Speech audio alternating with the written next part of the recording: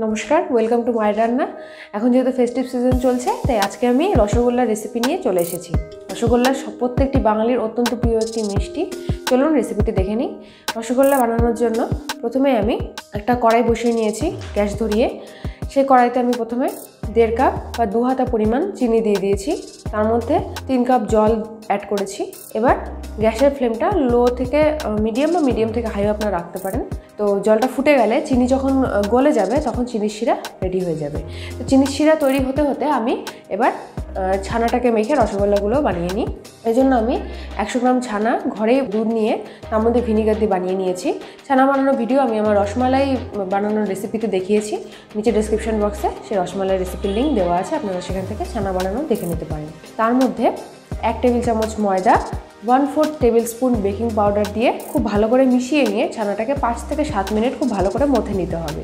দেখবেন যাতে ছানা থেকে তেল বেরিয়ে না যায়, তাহলে কিন্তু রসগোল্লাগুলো রাফ হয়ে যাবে।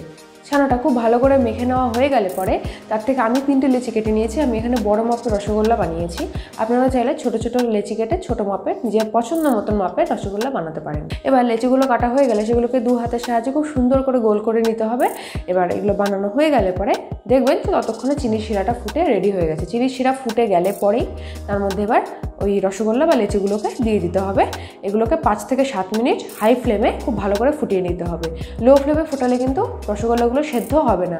হাই ফ্লেমে ফোটালে কী হবে? রসগোল্লার ওপরে নিচে চারিদিকে খুব সুন্দরভাবে তাপটা পাবে বয়েল হবে এবং খুব ভালো করে সেটা ফুটে সেদ্ধ হয়ে যাবে।